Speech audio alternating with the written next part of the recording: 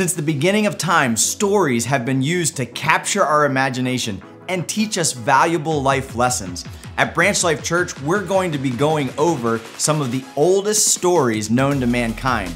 But these ancient stories have modern meanings, which will be helpful for you and your family.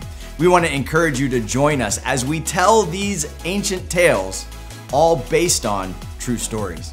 Join us in the weeks ahead, whether online or in person, for our series called Summer Stories.